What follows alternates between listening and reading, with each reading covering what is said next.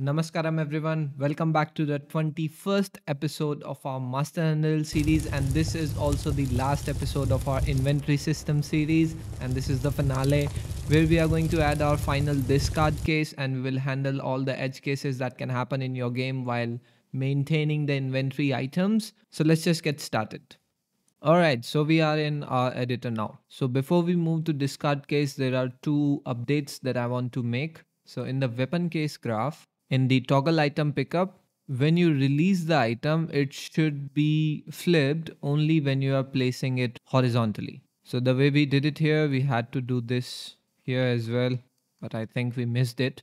So let's connect this. Another correction that I wanted to make is let's hit compile and go to inventory case. In the toggle case visibility, this set game paused always returns true whenever the execution is successful. So this is not the inventory status. Inventory status is this. So I'll just plug it here, save and compile. So when you select an item and you are about to pick it up, we have to set the rotation as well. So if the item is not in horizontal position, that means it is not zero. It is in some other position and we have to set that in the current rotation count, right? So for this, again in the on toggle item pickup, when you successfully pick the item, we have to set the current rotation count here and it will be the holding item. We split this and then we go for select int and we plug this here. So if it is not inverted, that means it is either horizontally placed or vertically placed. So for that we need 0 for horizontal and 1 for vertical. So this will give 0 when it is not placed inverted.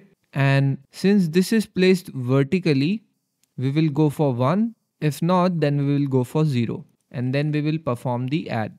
So let me do this. And let's say if it is inverted then it will start from 2 so 2 then this will say horizontally inverted. So horizontal will be 0 0 plus 2 will give you 2 if it is vertically inverted, then it will give 1, this will give 2, and this will become 3. So this is how you update the current rotation count when you pick the item. Okay, save and compile. Now before we go to the discard case, I wanted to handle the equipment situation. So this allows you to pick the item. It is located in the event graph of BP third person character. Let's remove it from here, cut and paste it in the inventory graph. And this interact action works differently. So if inventory is not open, it will try to pick the items from nearby. And if the inventory is open, then this action should be used to equip the item or the weapon.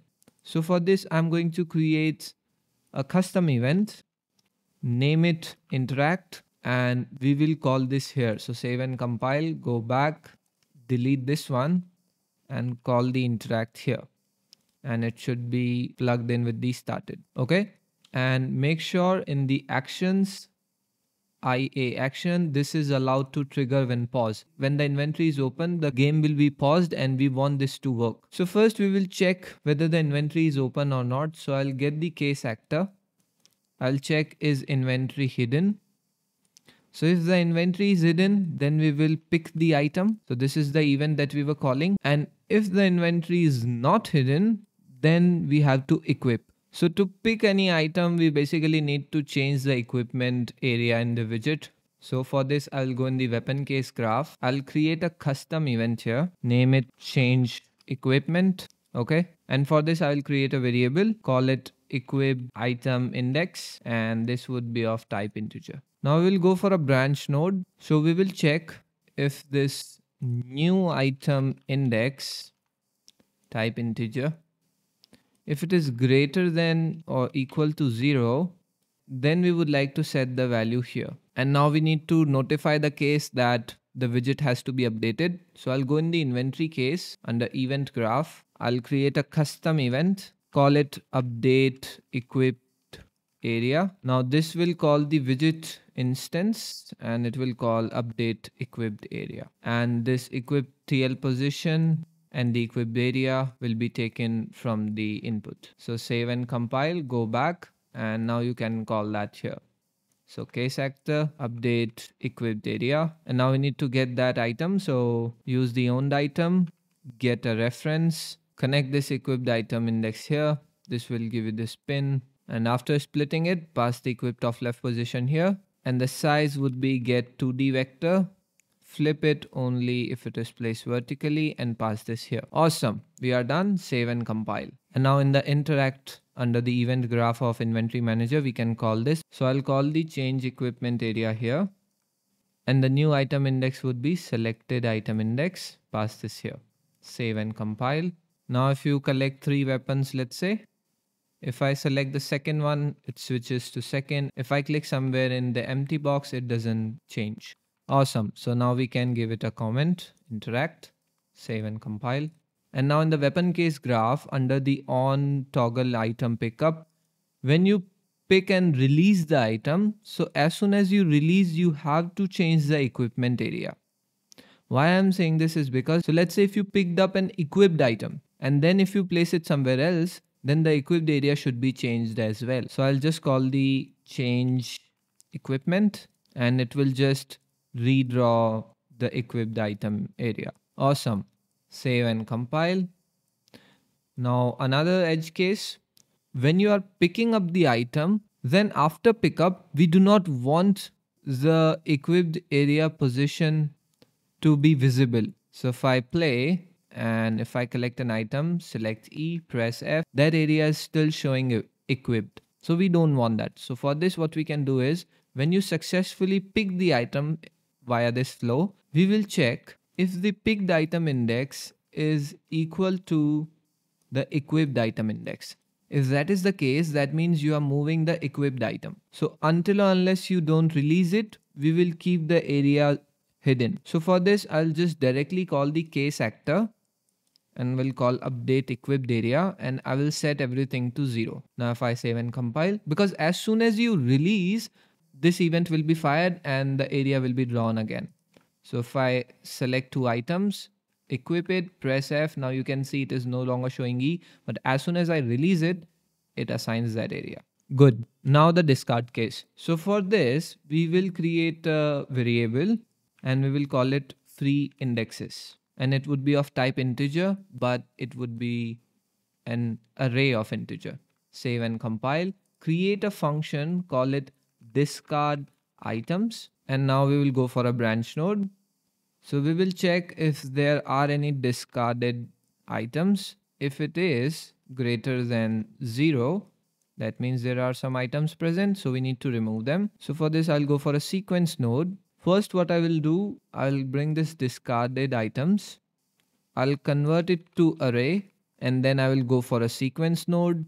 Now we need to remove the mesh and we need to mark the place in the owned items that it is not available. So these are the two things. Once you discard something, we will just mark that slot as available. We will not remove that item. That item will not be visible to you in the widget because we will destroy the mesh and we will keep that index in the free indexes variable so that that can be reassigned to a new item that you are going to equip okay? So for this i'm going to go in the inventory case. I'll create a custom event call it delete items and i'll go for a for each loop. And then we will call our destroy item function that we created last time. And the item key would be this and the array would be coming from here. And let's rename the input to keys okay now this will delete everything. Remember in the deletion we have this refresh scene so we are not gonna call it again and we will call this in the discarded items. So case actor, delete items, plug this pin here and the keys is nothing but this. Now the second thing that we have to do is go for a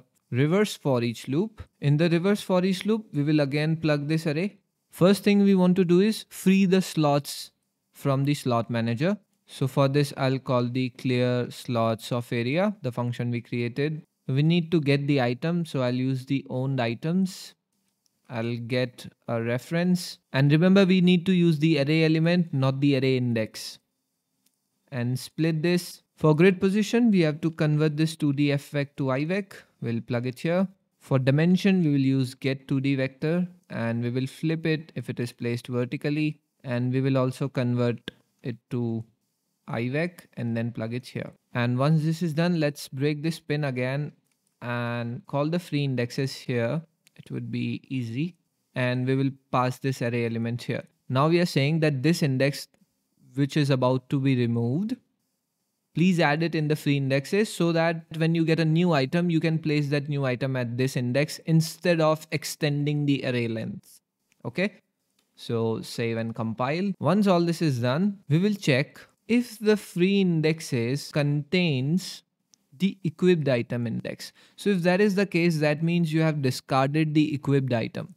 So if you have discarded the equipped item, then the equipment area should be updated as well. So first we will set the equipped item index to minus one because you have nothing equipped at this moment. And we will call the case actor to update the equipment area directly to 0, 0. Now we need to take care in the add items. We are using this dot length and now we have to use the keys from free indexes if they are available before creating a new key. So I'll just create a function generate item key and what this will do is it will go for a branch node. It will check whether we have any free indexes. If we have then we would like to return and if not then also. So if we have any free index we would like to get the first entry. So get a copy and whatever the first index is just give it as a key and if that is not the case that means you have nothing in the free indexes. All the indices are active. So we will get the new key by getting the length. Okay. Save and compile. Go back to add item and remove this piece. Call the generate item key here. Pass this here and bring the local variable of item key here. Connect this to this, this to this and here. And now we have to remove the item key from the free indexes because we just assigned. But we will only do that if the item is placed successfully in the inventory. So here we will release the key. I'll go for free index. Remove item, not the index.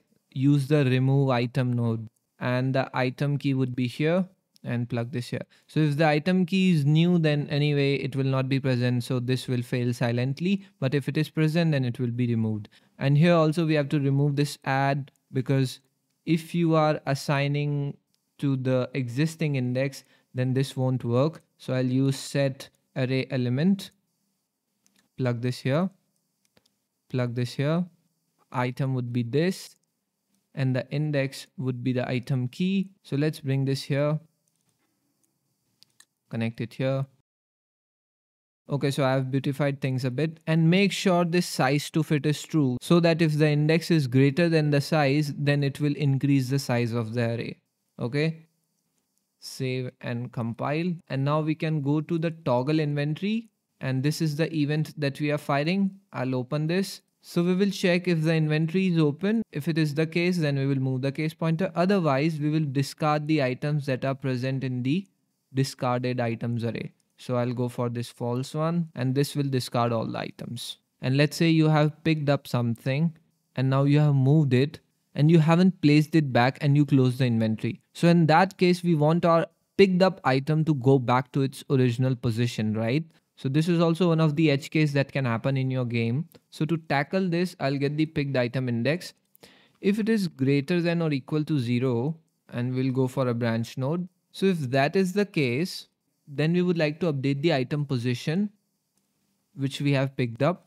Nothing is going to be updated in the owned items, but in the inventory we have placed the mesh somewhere else. So we have to reset it. And for that only we are doing this. So if the picked up item index is greater than zero, then we will call this update item position and we will access the owned items, get a copy and pass this in the inventory item. And you also need to pass the key and that can be used by this and once this is done, we also need to reset this picked item index to minus one. So to make sure that you have nothing in your hand and the picked item index is minus one, we will create a custom event. Reset picked item. And this will reset the item index to minus one. And this will also take care the in hand item. So item in hand changed and we do not want any item in the hand. And we will call this here before we open our inventory. So once you open we make sure that everything is reset. So we will call this reset picked item and we will plug this here. Okay? And one more thing that you have to take care is the equipped item index should be minus one by default when your inventory is spawned the current rotation count should be 0, the selected item index should be 1. Okay, and now since we have completed everything, we can go back to main event graph. And instead of sending the choice directly, we will play the preview, connect this to this, this one to this one,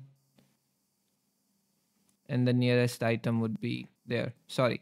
And in the toggle case visibility, we should call the toggle discard case here from the event graph and the new state should be false. No matter if you are closing or opening the case, it will always be false. In the inventory case, in the widget blueprint, make sure show discard case is set to false, okay, by default, so that it doesn't show, okay. This was just for testing and we need to do two optimizations. First in the third person character in the scene capture component 2D, make sure the capture every frame and capture on movement both are false. Okay, they will be set to true by the toggle inventory. So as soon as you open the inventory, it will return true and then it will set the capture every frame to true. Otherwise it will set it to false. But by default, it should be false so that we do not consume memory and resources. Do the same for inventory case. The scene capture component 2D, you should mark it false in both the cases. And in the toggle case visibility, you have to do this thing. So just break this pin, bring the scene capture component and set capture every frame. Pass this, pass this here, and this should be passed here So this will only capture when the inventory is open, otherwise it will pause. So this will save you a lot of resources. And you can leave this one, it is fine. Also in the on inventory toggle, once you reset the picked item, also reset the selected item index, set it to minus one. Okay, before you start.